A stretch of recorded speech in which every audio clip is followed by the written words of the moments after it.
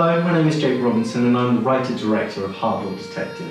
Hardboiled Detective is a 1950s period film noir piece. What if a detective who is trying to solve a murder begins to question his reality when he realises that he might be solving his own murder? For this piece, we're looking to create a 1950s authentic apartment. That's where the main bulk of our story takes place.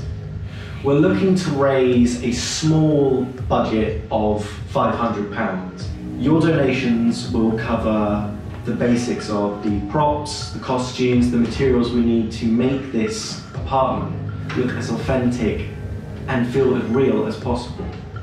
Your donations will give us the confidence to boost this project and make it something worthwhile that I hope will entertain and thrill many people as we can reach. This is an exciting project with a, with a real psychological twist and I hope it will really, really entertain a lot of people upon its completion. Any donation would be highly appreciated by us and would help us to create and craft this world that we really want to get across. Thank you very much for watching.